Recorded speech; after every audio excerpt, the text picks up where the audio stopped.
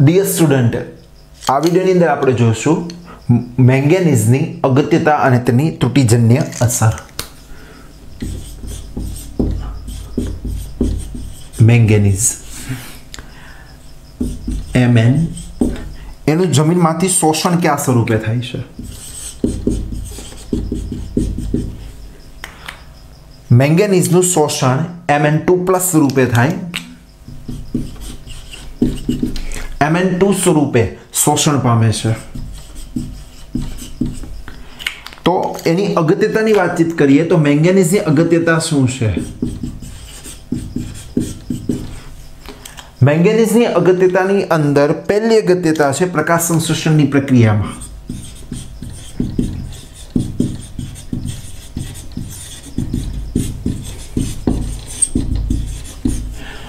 પ્રકાશ સંશ્લેષણની ક્રિયાની અંદર સૂર્યપ્રકાશનું શોષણ થતું હોય છે. અને સૂર્યપ્રકાશની મદદથી C six H twelve O six એટલે કે ખોરાકનું નિર્માણ થાય છે. આખી સ્ટેપ બાય સ્ટેપ પ્રક્રિયા છે. પાણીનું જળ વિભાજન એનામાંથી શક્તિ છૂટી પડે છે. એ શક્તિનો હોય ચક્રીય અને અચક્રિય એના બાદ ત્યારબાદ કેલ્વિન ચક્ર અને ત્યારબાદ ફરી પાછું એમ કહી શકીએ કેલ્વિન ચક્રની પ્રોસેસ થાય અને કેલ્વિન ચક્રની પ્રોસેસમાંથી સી સિક્સ એચ ટ્વેલ્વ અથવા તો શર્કરાનું ફોર્મેશન થતું હોય છે. આ સ્ટેપ બાય સ્ટેપ પ્રોસેસ એમાં સૌથી પહેલી જે પ્રક્રિયા જે છે પ્રકાશ સંશ્લેષણની એ જળ પ્રકાશ જળ વિભાજન ફોટો હાઇડ્રોલિસિસ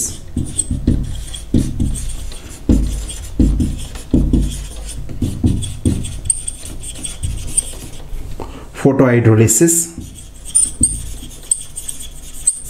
તો ફોટો હાઇડ્રોલિસિસની પ્રક્રિયા જે છે, એ ફોટો હાઇડ્રોલિસિસની પ્રક્રિયાની અંદર પાણીનું પ્રકાશની હાજરીમાં પાણીનું પ્રકાશની હાજરીની અંદર જે વિભાજન થવાની ક્રિયા જે છે, એ વિભાજન થવાની ક્રિયાને આપણે ફોટોહાઇડ્રોલિસિસ તરીકે લેવામાં આવે છે. તો ફોટોહાઇડ્રોલિસિસની વાતચીત કરીએ તો આ જળ વિભાજનની પ્રક્રિયા દરમિયાન ઓક્સિજન મુક્ત થાય.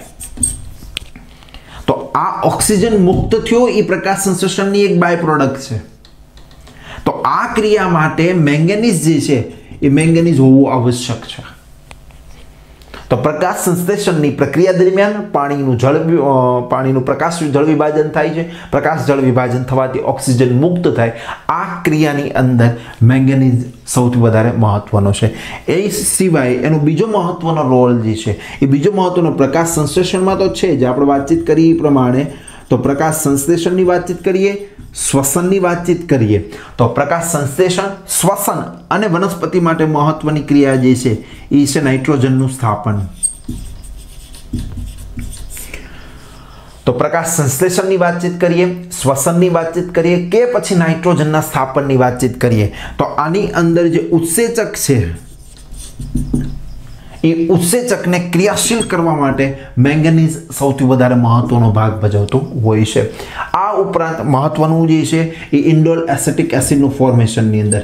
Indole indole acetic acid.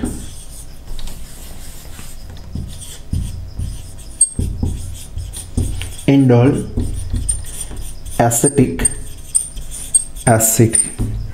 Indole acetic એસિડના ફોર્મેશનની અંદર મેંગેનીઝની સૌથી વધારે આવશ્યકતા પડતી હોય છે. તો મહત્વની જે પ્રક્રિયા જે છે એ મુખ્ય બે પ્રકાશ સંશ્લેષણની પ્રક્રિયાની અંદર અને બીજું નાઇટ્રોજનના સ્થાપનની અંદર મેંગેનીઝનું મહત્વ છે.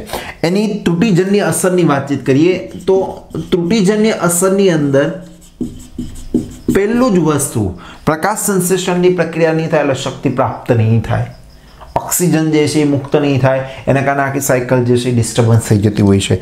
અને એને કારણે આખી જે પ્રક્રિયા જે છે એમાં વૃદ્ધિ અવરોધવાની થતી હોય છે. અને વૃદ્ધિ અવરોધવાય ત્યારે જ પ્રક્રિયા જે છે એ અવરોધવું એટલે મતલબ કે પ્રકાશ સંશ્લેષણ ઓછું થવું. અને પ્રકાશ સંશ્લેષણ ઓછું થવું દેટ મીન્સ ક્લોરોફિલ ઘટવા. તો આની અંદર એક ઘટના જે થાય છે એ છે ક્લોરોસિસ ક્લોરોસિસ ક્લોરોસિસની પ્રક્રિયા થાય છે. ક્લોરોસિસની પ્રક્રિયાના કારણે પર્ણ પીળા પડે છે. ખાસ કરીને વટાણાની અંદર એક પ્રકારનો રોગ થાય છે. Marsh spot disease. Disease of P. Marsh spot disease of P, કે જેની અંદર વટાણા જે છે, એની અંદર એના ડાઘા જે છે, એના પર્ણ જે છે, એ પર્ણની અંદર આપણને ડાઘા જોવા મળતા હોય છે. તો ખાસ કરીને આ જે વાતચીત કરવામાં આવેલી હતી, એ વાતચીત મેંગેનીઝ વિશે વાતચીત કરી ફરી એનું રિકપ જોઈ લઈએ. તો રિકેપની અંદર મેંગેનીઝની શોષણ એમ એન ટુ પ્લસ સ્વરૂપે થાય છે. મહત્વની ક્રિયા સૌથી વધારે હોય તો એ પ્રકાશ સંશ્લેષણની ક્રિયા દરમિયાન ઓક્સિજન જે મુક્ત થાય છે, એ ઓક્સિજન મુક્ત થાય પાણીનું પ્રકાશનું જળ વિભાજન. તો પ્રકાશ જળ વિભાજનની પ્રક્રિયા દરમિયાન મહત્વનો ભાગ ભજવે છે. બીજું મહત્વનું કાર્ય જે છે નાઇટ્રોજનના સ્થાપન માટે જરૂરી ઉત્સેચક છે. એ ઉત્સેચકની અંદર મદદરૂપ થાય છે. ઉપરાંત ઇન્ડોલ એસેટિક એસિડનું ફોર્મેશન છે. ઇન્ડોલ એસેટિક એસિડના ફોર્મેશનની અંદર પણ મેંગેનીઝ મહત્વનો છે.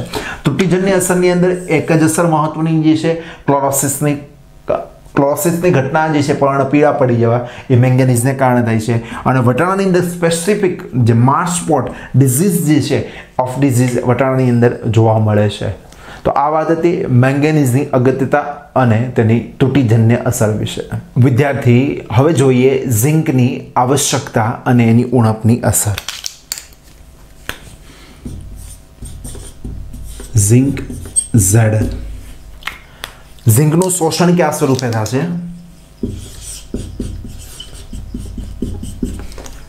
ઝિંકનું શોષણ ઝેડન ટુ પ્લસ સ્વરૂપે થાય. ઝેડન ટુ પ્લસ રૂપિયાનું શોષણ થાય છે. તો એની અગત્યતા કઈ છે એ જોઈએ. પહેલી અગત્યતા ઉત્સેચકોને સક્રિય કરવા.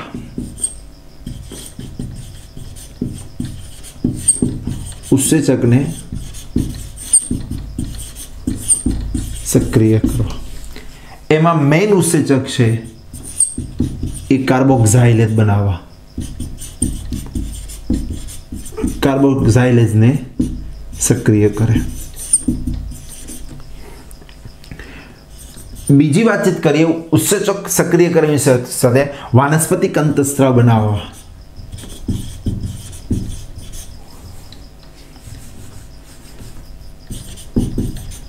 વાનસ્પતિક અંતસ્ત્રાવનું નિર્માણ. જેમાં મેન ઓક્ઝિન. એટલે કે ઝિંક જે છે એમાંથી ઝિંક પોતે ઓક્ઝિનના ફોર્મેશનની અંદર ઓક્ઝિનનું સંશ્લેષણ કરવું હોય. પહેલાં એ ટ્રિપ્ટોફન બનાવે. ટ્રિપ્ટોફેન બન ટ્રિપ્ટોફન બની જાય ત્યારબાદ એમાંથી ઇન્ડોલ એસિટિક એસિડ બને.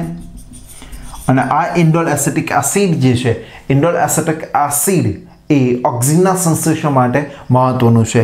તો પ્રિકર્સર તરીકે ઓક્સિજનના નિર્માણની અંદર. તો ટ્રિપ્ટોફાન જે છે, એ ટ્રિપ્ટોફાનનું ફોર્મેશનથી ઓક્સિજનનું નિર્માણ થતું હોય છે. તો ઓક્સિજનના સંશ્લેષણની અંદર અને એની સાથે સાથે કાર્બોક્ઝાઇલ ઉત્સેચક છે, એને એક્ટિવેટ કરવાનું કામ થતું હોય છે. તો એની ઉણપ કઈ છે એ વિશે જોઈએ. ઉણપ સામાન્ય રીતે બે સૌથી વધારે મહત્વની છે. પહેલી જે છે, એ પહેલી ઉણપની અસર છે. ક્લોરોસિસ જેમાં પર્ણ પીળા પડે છે. આ ઝીંકની અસર છે. બીજું, વૃદ્ધિ કુંઠિત થવી. એટલે કે વૃદ્ધિ અટકી જવી. ત્રીજું વસ્તુ, આની અંદર પુષ્પ નિર્માણ અને ફળ નિર્માણ અવરોધ થવું છે. ફળ નિર્માણ અને પુષ્પ નિર્માણ અવરોધાય છે.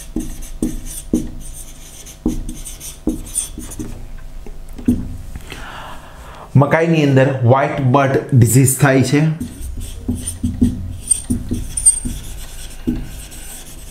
વ્હાઇટ બર્ડ ડિસીઝ નામનો રોગ મકાઈની અંદર થતો હોય છે. ચોખાની અંદર ખેરા નામનો ચોખામાં ખેરા નામનો રોગ થાય છે. તો આ જે વાત હતી વાત હતી ઝિંકની ઉણપને કારણે સર્જાતી અસર જે વનસ્પતિમાં જોવા મળે છે. તો રિકેપની અંદર અને અગત્યતા, તો અગત્યતાની મેઇન કીવર્ડ ઉત્સેચકોને સક્રિય ક્યાં?